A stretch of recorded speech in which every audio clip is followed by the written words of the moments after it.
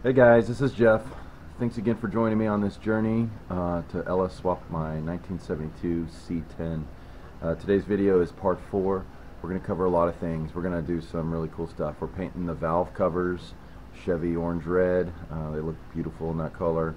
Uh, we clean up some of the heads that do a little bit of head work. We change the valve springs out, um, uh, put the head studs in, mount the heads.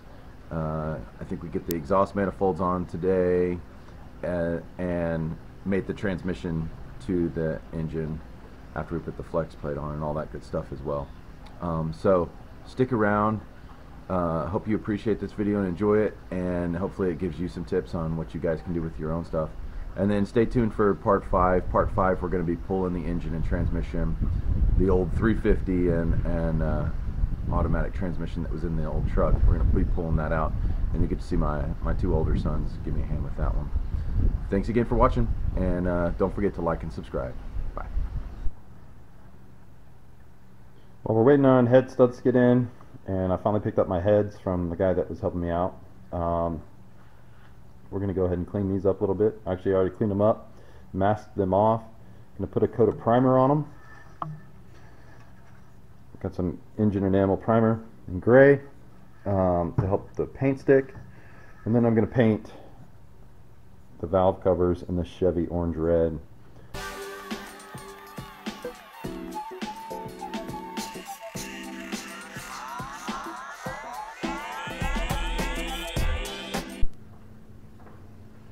Let me show you my setup here. Um, I'm using the Comp Cams tool. I used this on my LS3 when I did that. Uh, it worked really well. I have another tool that fits specifically for uh, the 5.3 heads and the 4.8 heads. But when I had the 6.3, it had that offset rocker, so I had to buy this other tool. Since I like the way it worked a little bit better, it was a little smoother and cleaner, gonna go ahead and use it on this one too. Um, I do recommend that every time you tighten this main bolt that goes through to push the plate down that compresses your springs, that you use some sort of assembly lube or oil or something like that because these threads do get gummed up. And if they get gummed up, it makes the tool ineffective. All right, I went around each valve spring, put a socket over here that fits right on top of the seat, and I'll just hit it a couple times, kind of like that. I did that with all of them already, so hopefully that loosened them up enough to break these keepers loose.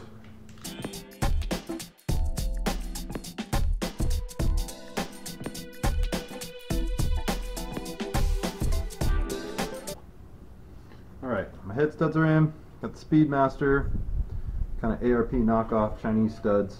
Uh, got them kind of laid out here, and there's no torque sequence or specs or anything like that to follow, so I'm going to follow kind of a similar process to how you do the ARP studs. Uh, bulking, torquing them down in a certain uh, torque spec.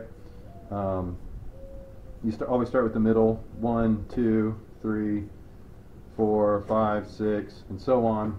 Look it up if you don't know it. And then do it in, in different passes. So the first pass for the long bolts are going to be 25, then 50, and then ARP says 75 for the third pass. I'm going to stop at 70 for these just so I don't overdo it. And then after these are torqued with the head on, obviously, you don't torque them when you put them in. Uh, then you torque uh, the smaller bolts here to a, a, lighter torque setting, which I think is either 22 or 25, and I'll look that up. Uh, I think ARP says 25. But I'm first going to apply some of this wonderful fastener assembly lube, and I'll fast forward through most of this.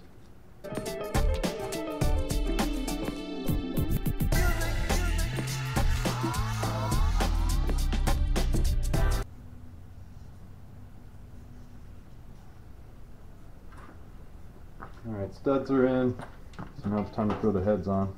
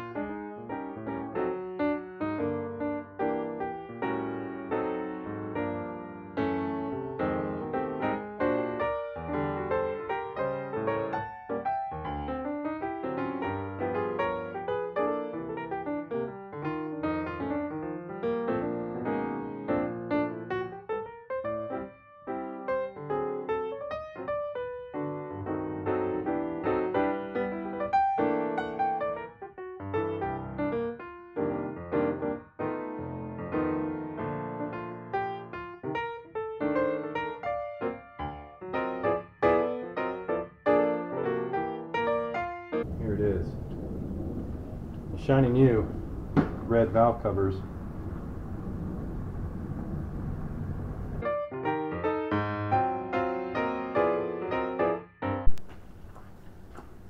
Alright, time to torque the flex plate on. There's three passes. We'll do the first pass at 15 foot-pounds, and 37, and then 74. Ladies and gentlemen, I join these two together in holy matrimony.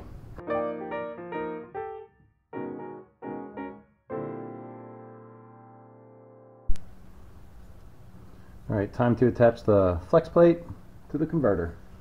I first wire brushed the converter bolts, and I'm going to get a little red Loctite, and then each of these get torqued down to 45 foot-pounds.